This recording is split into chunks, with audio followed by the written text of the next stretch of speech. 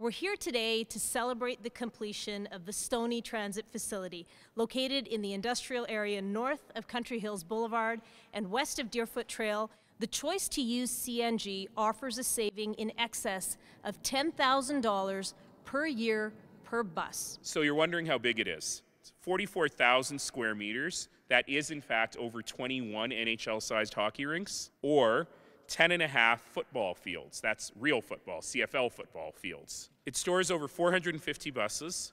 It has 36 bus bays to make the maintenance and operations of our transit buses more effective and efficient. That's what you see behind me. The Stoney Transit Facility is also a great example of a major tran- transportation project that's been delivered to Calgarians using the P3 process.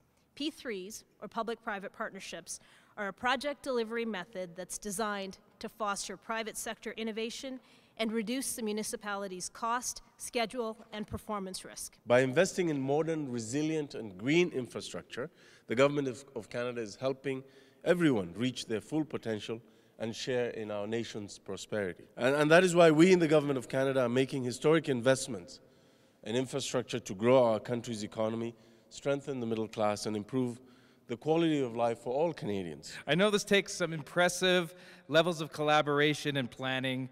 So thank you to everyone who put their time and their heart into this project. Because now the Stoney Transit Facility puts Calgary on the map as the largest indoor compressed natural gas bus fueling complex in North America. The commitment of our government to transit is clear.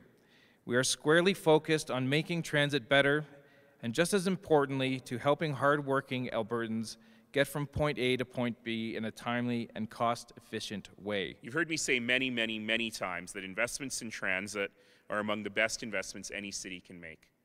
They're investments in social mobility, they're investments in the environment, they're investments ultimately in quality of life. Connecting people and communities is what we do, and investments like this make a huge difference.